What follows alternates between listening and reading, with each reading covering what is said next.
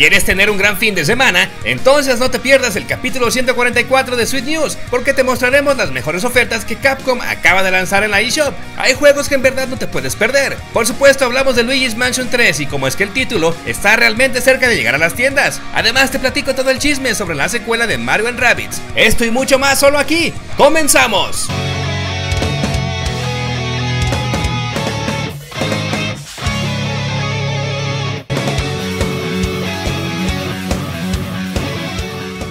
Abramos el capítulo con estas buenas recomendaciones para el fin de semana, pues has de saber que Capcom acaba de lanzar una gran rebaja en la eShop de Nintendo Switch, y la verdad, grandes títulos para todos los gustos están disponibles a muy buenos precios, como por ejemplo las colecciones de Mega Man Legacy, ya que la segunda podrás comprarla al 50% de descuento, o si te interesa un poco de terror en tu vida, puedes aprovechar que Resident Evil Revelation 1 y 2 bajaron de 19.99 dólares a 13.99, o si eres amante de los juegos de pelea, la grandiosa colección de Street Fighter tiene un 40% de descuento, al igual que la Beat'em Collection de Capcom, pero sin duda lo que no puedes dejar pasar es el 50% de rebaja en Monster Hunter Generations Ultimate. En fin, ahora estás enterado. Recuerda que Switch es multiregión, así que no importa de dónde nos veas, éntrale con ganas a estas rebajas. Y hablando de actualizaciones, tal vez te alegre saber que la versión 1.01 de Final Fantasy VII ya está disponible. En esta ocasión Square Enix ha corregido un molesto bug que impedía disfrutar de la música del juego adecuadamente, ya que hasta este momento el título solo repetía unas cuantas canciones. Además, también se arregló el insoportable parpadeo entre las transiciones de las escenas cinemáticas y el juego.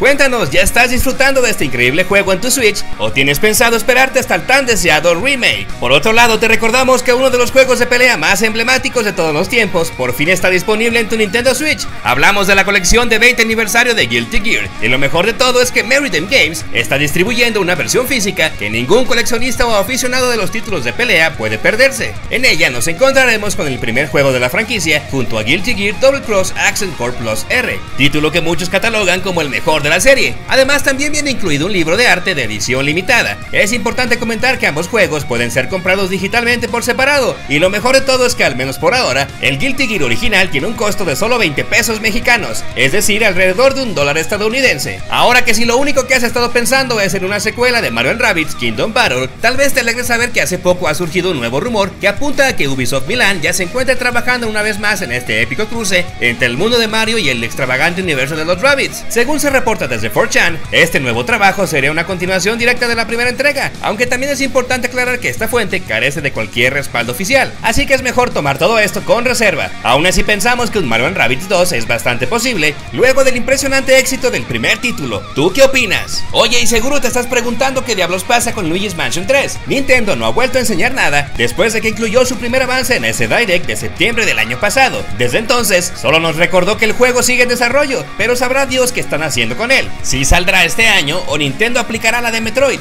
Pues bueno, tranquilízate porque parece que hay buenas noticias. El día de hoy el juego apareció clasificado para todas las edades en Corea del Sur. Y si te preguntas qué tiene todo esto de relevante, te diré que desde hace ya bastantes años que Corea del Sur se ha convertido en un referente, pues cuando un juego aparece listado ahí sin previo aviso, termina saliendo en realidad. Segundo, para que un juego sea clasificado, este debe estar prácticamente terminado por eso es que todo el mundo supone que Luigi's Mansion 3 está muy cerca. Seguro que en E3 Nintendo lo mostrará en todo su esplendor. En fin, esto ha sido todo por hoy. Cuéntanos, ¿aprovecharás alguna oferta? ¿Te emociona una secuela de Marvel Rabbids? ¿Y qué tan desesperado estás por Luigi's Mansion 3? Ya sabes, queremos leerte abajo en la sección de comentarios. Nos vemos el lunes en un nuevo capítulo de Switch News.